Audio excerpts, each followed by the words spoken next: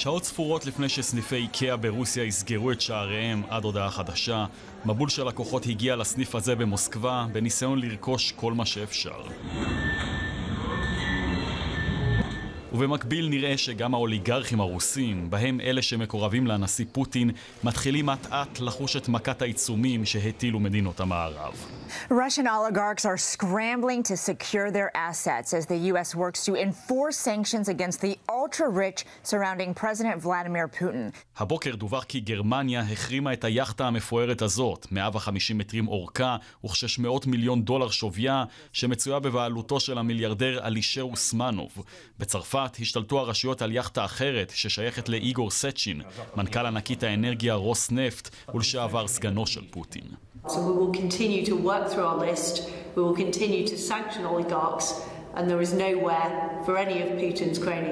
So. בינתיים מי שיכול עושה הכל כדי להגן על הנכסים שלו.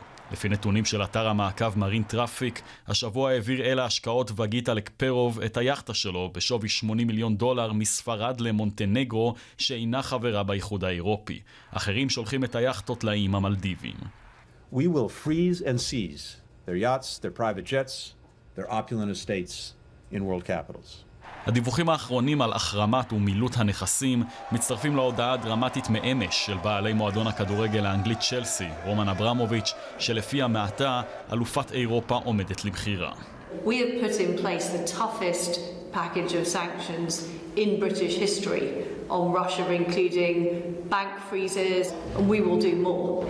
19 שנים חלפו מאז רכש האוליגרך הרוסי, בעל אזרחות ישראלית, את המועדון הלונדוני.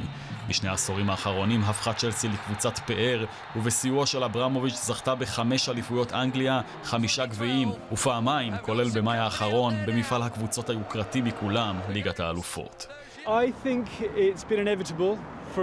Uh, for a few months now.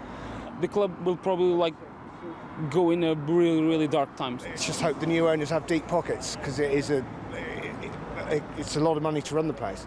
מוקדם יותר השבוע קראו המיליארדרים מיכאיל פרידמן ואולג דריפסקה לשים קץ למלחמה באוקראינה, החרף הפגיעה שמתחילים לחוש האנשים במעגל הקרוב שלו, לפי שעה נראה כי פוטין לא מתכוון לעצור.